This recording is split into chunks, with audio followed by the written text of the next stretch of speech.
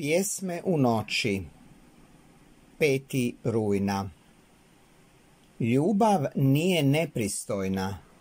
Prva Korinčanima 13, redak 5.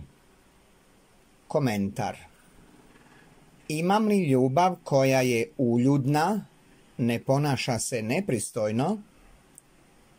Ponos je korijen iz kojeg raste mnogo nepristojnog ponašanja neotesanosti. Tako uobičajene za one koji misle da su netko i nešto, bilo intelektualno ili financijski.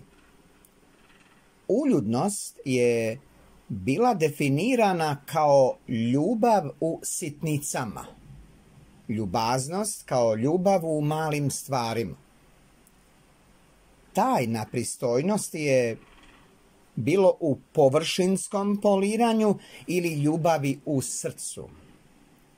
Kao kršćani trebali bismo imati ljubav u srcu koja će nas poticati na dijela dobrote i ljubaznosti, ne samo u kućanstvu vjere, nego i u našim domovima i u našem obhođenju sa svijetom.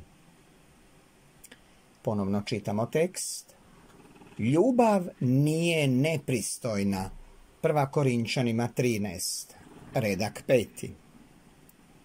Himna koju večera spjevamo je pod rednim brojem 267.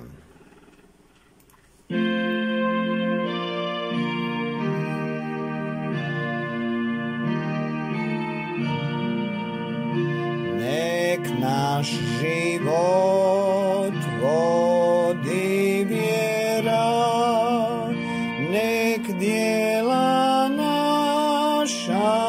svijetle svud, jer samo je svetac onaj koji vjerno služi tebi, nada također s ljubavlju neko drži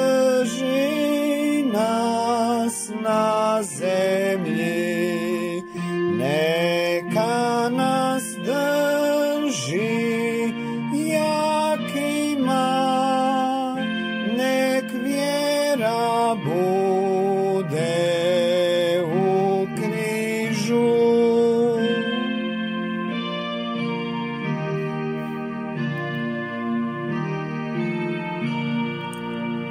Далеко